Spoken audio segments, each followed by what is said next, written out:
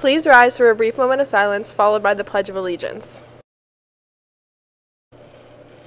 I pledge allegiance to the flag of the United States of America and to the republic for which it stands, one nation, under God, indivisible, with liberty and justice for all.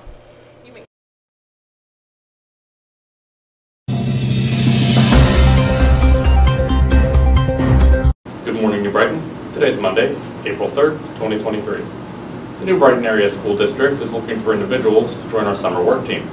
This is a temporary employment opportunity form from June until mid-August.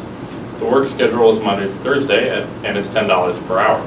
Work includes moving furniture, cleaning classrooms, outdoor groundskeeping, painting, as well as other similar work.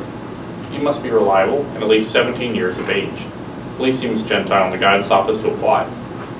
Any student interested in going on uh, a field trip to see the Sleeping Beauty on Friday, May 19th, it is $25 and your permission form is due to Ms. King no later than April 19th. Please note, this is a first come, first served basis.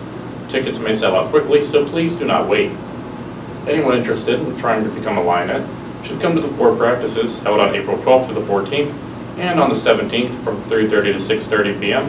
in the middle school gym, and the tryout day on the 18th of April starting at 3.30 p.m. If you're unable to make it to all the practices, you are still welcome to try out.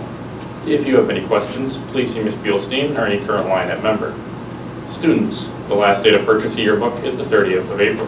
Do not miss out.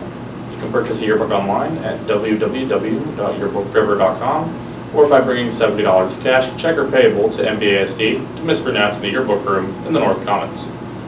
Now, on to sports. Good luck to the track team at their home meet. Good luck to the baseball team at their home game against Olsh.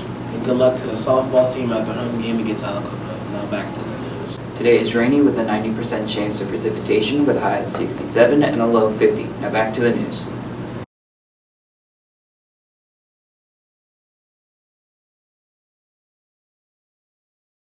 Happy birthday today to Nadia North. Have a good day, New Brighton.